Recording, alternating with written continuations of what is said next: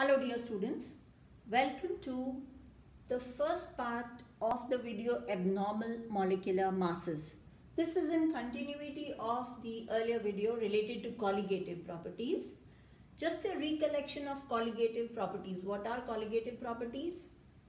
Depression and freezing point, elevation and boiling point, osmotic pressure, relative lowering of vapor pressure. These four colligative properties we have already studied in four different videos. These properties are dependent on the number of particles in solution, the number of solute particles in solution. So if you notice over here, lowering of vapor pressure is proportional to the number of moles of the solute. Small letter we are using for the solute and capital we are using for the solvent. Elevation and boiling point is ebullioscopic constant multiplied by molality. If similarly, depression and freezing point, Kf into molality. If we expand the term for molality, we have 1000 into Kf into weight of solute upon molar mass of the solute into the weight of the solvent. The colligative property is dependent on the number of moles of the solute in the solution or it is inversely proportional to the molar mass of the solute in the solution. So these properties depend on the number of particles. If number of particles in the solution are different from what we have estimated, then in that case, the molecular mass that we will measure and what we will calculate will be different. So we have an example over here. Uh, if you calculate the freezing point for 1 molar sodium chloride solution, given to you Kf is 1.86 degrees. That is cryoscopic constant for sodium chloride per mole solution is 1.86 so delta Tf is equals to Kf into molality. 1.86 into 1 gives us 1.86 degrees. In other words the freezing point for 1 molar solution, sodium chloride solution will be 0 that is the freezing point of pure water minus 1.86 that is negative 1.86 degrees Celsius. But experimentally it has been found to be negative 3.72 degrees Celsius when measured with this particular property. In other words, the theoretical value, that means what you have calculated and your experimental values do not tally, do not match. This is what is called as abnormal behavior. Why are we getting this type of differences in the readings? For this, before we go ahead with the explanation, we need to recall that when we talk about these colligative properties, there were two conditions which were required to be met for a solution to behave ideally. First, the solution should be dilute. What if the solution is concentrated? When the solution is concentrated, the solute particles, they come closer to each other. When they come closer to each other, there will be forces of attraction, new forces of attraction which will develop. So they no longer behave independent of each other. When we are saying ideally means the substances are behaving or the particles are behaving independent of each other. But when they are coming close, they are not working independently. So in such a scenario, this the behavior will deviate from an ideal situation. Second, no association or dissociation should take place either between the solute particles or between the solute and the solvent particles. The solute and the solvent particles should not interact chemically as well. What if there is association or dissociation? That will explain the abnormal behavior when we measure something experimentally. We have two categories here, association and dissociation. Sorry, dissociation and association. That means when the solute particles, they undergo dissociation in solution. For example, sodium chloride ionizes in solution to give us sodium and chloride ions.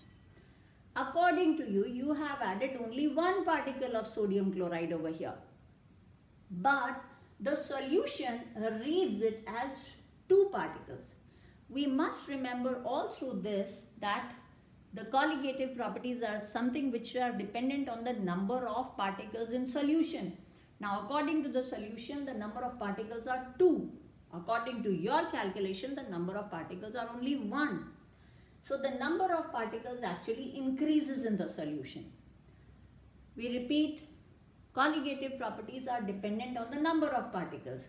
So the value of that colligative property also increases. But colligative property is inversely proportional to molar mass as you have seen in the expanded form over here. We'll, same applies over here. Only thing is instead of Kf you have Kb. Similarly, osmotic pressure inversely proportional to molar mass. So, your colligative property experimental is inversely proportional to the molar mass over here. In other words, what will happen over here is the value of your colligative property when measured experimentally will be more than what you have calculated by pure numbers alone or the molar mass of the non-volatile solute that you would measure using any of these properties will be lower than the actual value. This is called as abnormal behavior when you talk about dissociation of particles of the solute in solution. In order to account for this difference, we introduce a factor which is called as Van't Hoff factor denoted by the symbol iota, that's simple I. This I is calculated molar mass divided by the experimental molar mass. Just to remember it easily, alphabetically C comes before E. So MC divided by ME. And again, we say property is inversely proportional to molar, molar mass. So the colligative property experimental divided by the value of the colligative property according to you, according to numbers, according to calculated value or the theoretical value. So iota is mc by me or the colligative property experimental upon colligative property calculated. That can be any of them, any of the four. Osmotic pressure, depression in freezing point, elevation in boiling point or lowering of, relative lowering of vapor pressure. Since MC is greater than ME in this case, the value of iota would be greater than 1. Coming to association. See the first condition, the solution should be dilute. What happens when the solution becomes concentrated? The solute particles come close to each other. The forces of interaction are increasing. In the case, a common example that we have taken is acetic acid. The particles come close to each other and they form a bonding, a temporary bonding, what we call as a hydrogen bond because of which my two molecules of acetic acid CH3COOH according to me I have added two moles of acetic acid CH3COOH but in the solution they dimerize. That means two molecules club together to behave as one single molecule. So experimentally this reads only as one particle rather than as two. In other words the number of particles experimentally has actually gone down. So, your experimental value of the colligative property will also go down. It will decrease. The molar mass in this case that you will observe will be more than your what you would calculate from the formula.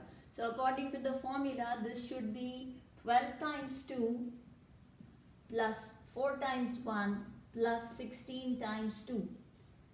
This is according, this is your calculated value. But when you do it experimentally using any of the colligative properties, it is observed that it shows a value double of its calculated value. Again, iota is mc by me or the property experimental divided by the property calculated. Here your mc the calculated value which was around 6, 24, 28, 32 which was around 60 over here would be lower than 120 over here. So the iota is actually less than 1 in case of substances which undergo association in case of solutes which undergo association in solution. This will help you to determine supposing you get a theoretical question. So supposing I add 1 mole of sodium chloride and 1 mole of acetic acid. Now theoretically both of them should give me the same elevation in boiling point.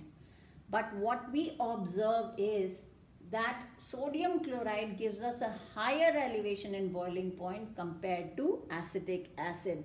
Because sodium chloride means there are two particles in solution.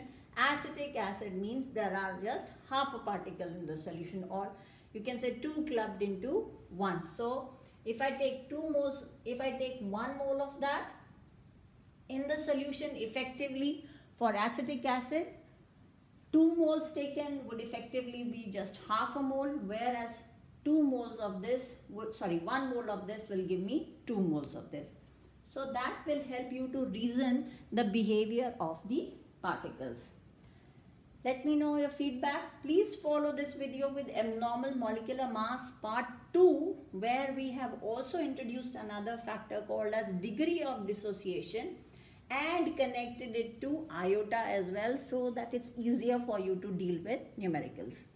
Have a good day.